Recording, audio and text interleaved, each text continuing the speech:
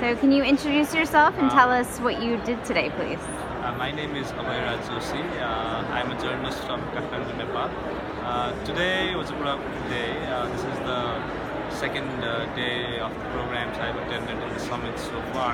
It started with uh, a program on uh, gender in agriculture. Uh, I had an opportunity to interview the uh, agriculture program head at Microsoft.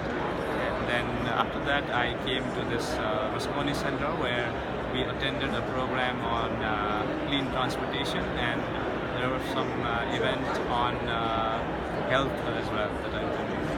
And uh, what did you think you took away from the sessions today, and how do you think you'll use them in your reporting?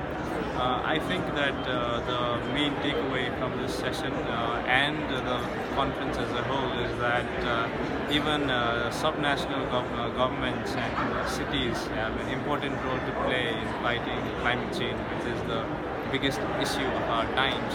Uh, in our part of the world, we always look at the government uh, to address problems. The central government should be doing things to address problems, but uh, they have shown that even cities and uh, provinces and states can do things that can uh, bring positive changes. So I think that's the biggest takeaway from the conference.